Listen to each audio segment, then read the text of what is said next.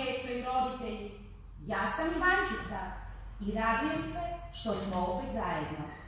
Kroz razne zabavne sadržaje koje su za vas pripremile vaše odgajateljice iz vrtića, zajedno ćemo se igrati, učiti, stvarati, istraživati, vježbati, smijati se i zabavljati.